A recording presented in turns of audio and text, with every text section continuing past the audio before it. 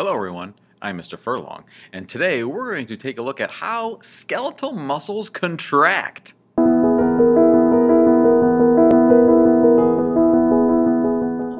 As we talk about how skeletal muscles contract, you'll have to bear with me for a little bit while you watch this video. It can get really detailed. There's lots of things going on. I hope that the animations help you understand what is happening here, and we'll spend some time in class going more into detail about what is really happening during these contractions.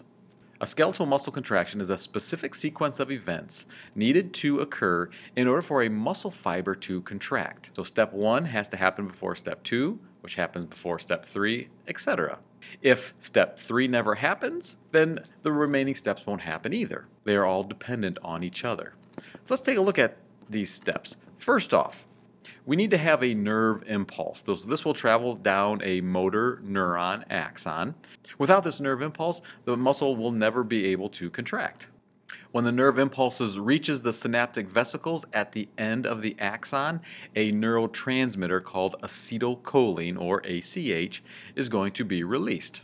Remember that the neuron doesn't actually touch the muscle fiber at that neuromuscular junction. So the acetylcholine is what is going to jump that gap. It will attach to acetylcholine receptors on the sarcolemma. It is then going to cause the impulse to continue down the muscle fiber. And then that acetylcholine is going to be broken down by an enzyme called acetylcholinesterase. Some of that is going to be reabsorbed, and some will just be destroyed.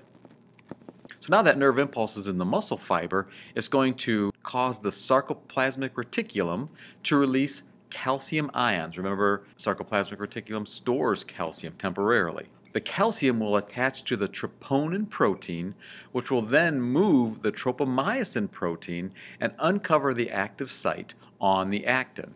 This will then allow for the myosin heads to attach to the active site on the actin filament. The myosin is then going to pull on the actin by those cross bridges that were formed. This requires energy and a lot of it, and that energy is going to be coming from ATP. As the myosin is pulling on the actin, the muscle actually gets shorter and the muscle contracts. So the muscle will stay contracted as long as calcium is present. At some point, that calcium is going to be reabsorbed by the sarcoplasmic reticulum. When that happens, the active site will be covered up, which means those cross bridges will be broken, and the actin will slide back into its original position. So this is called the sliding filament theory of muscle contraction.